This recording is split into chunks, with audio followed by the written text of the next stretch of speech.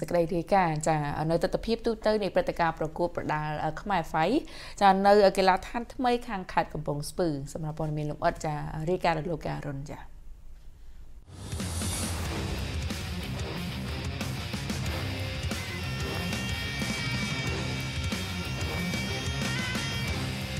អ៊ីវ៉ាព្រីមៀមអាយរួមគ្នាថែទាំសុខភាព អ៊ីវ៉ាខ្ញុំបាទកៅអរុននិងក្រុមការងារព័ត៌មានកីឡានៃស្ថានីយ៍ទូរទស្សន៍កងយុទ្ធពលខេមរៈភូមិន្ទប៉ូលី5មានកិត្តិយសនិងចុះមកផ្តិតយកទស្សនវិជ្ជានៃការប្រកួតកីឡាប្រដាល់គុណខ្មែរនៅក្នុងព្រឹត្តិការណ៍ខ្មែរហ្វៃលើកទី5បាទហើយការរៀបចំព្រឹត្តិការណ៍ខ្មែរហ្វៃលើកទី5នេះធ្វើ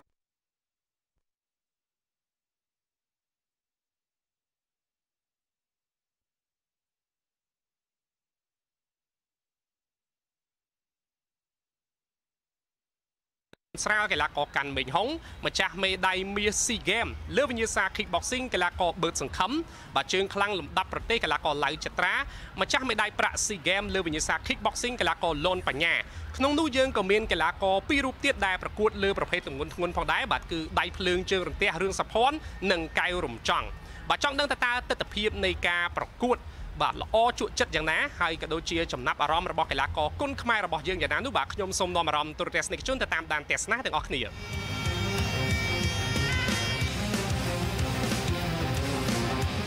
ទទូរទស្សនិកជនយើងឃើញថាការប្រកួតអំញ្ញនេះគឺពិតជាស្វិតស្វាញមែនទែនហើយជ័យជំនះបានទៅលើម្ចាស់មេដាយមាស SEA Games របស់យើងគឺកីឡាករបឺតសង្ឃឹមឥឡូវនេះខ្ញុំនឹងនាំអារម្មណ៍ទូរទស្សនិកជនបាទទៅជួបជាមួយនឹងសង្ឃឹមផ្ទាល់តែម្ដងបាទសរសេរសង្ឃឹមស្ដីបងបាទបាទសង្ឃឹមយល់យ៉ាងម៉េចដែរចំពោះដៃគូរបស់យើងទៅជាកីឡាករហ្វីលីពីនអំញ្ញនេះអឺសម្រាប់គាត់ល្អបងអាវុធធ្ងន់ហើយ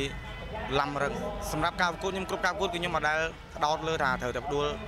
គេបានទេគឺខ្ញុំមានតែយ៉ាងគឺ ខ្ញុំនឹងខំប្រឹងដើម្បីជ័យជំនះ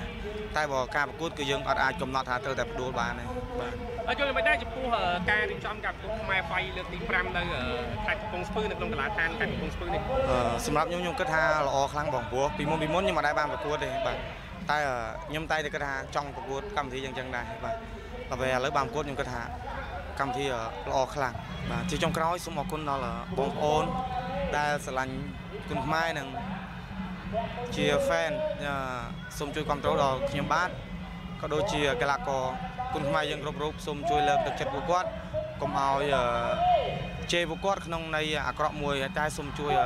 រីកគុណក្នុងបែបស្ថាបនាវិញដើម្បីឲ្យពួកគាត់មានទឹកចិត្តវឹកហាត់ដើម្បីគុណខ្មែរយើងទៅមុខទៀត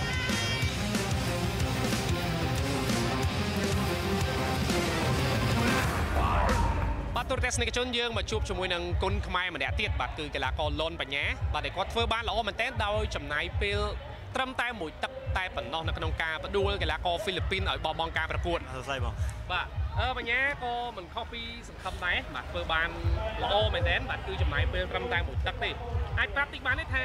យើងចាប់ចំណុចសោយកីឡាករហ្វីលីពីននឹងបានកន្លែងណាដែរអឺសម្រាប់ការប្រកួតមិញយើងអត់ទាន់គេថាវាគេមានចំណុចខ្សោយឬក៏មិនខ្សោយបងតែយើង យើងឃើញគេលោលោលោវាយយើងមុន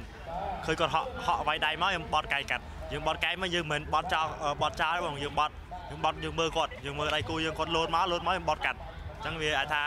សំណាងឲ្យនឹងបងនឹងចេញទេយើងត្រូវផ្ដៃផ្ដៃបងព្រោះការប្រកួតយើងមើលឃើញកន្លែងយើងកន្លែងប្រុសប្រុសជួការគេអាចបត់មួយដៃឬក៏ទាត់មួយជើងអីចោលមកចំយើងប្រហែសយើងអាចស្លាប់វិញគេថាបានដែរ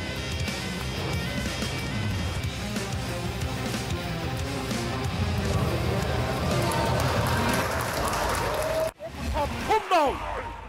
លេងស្បើមឈ្ងុយឆ្ងាញ់កម្រិតពីអ៊ុបលោក Gansberg a real German premium beer នេះជាកង្វះហាត់រីនៅក្នុងដំណាព្រះសក្តិឆ្នាំថ្មីត្រូវតែហាត់រី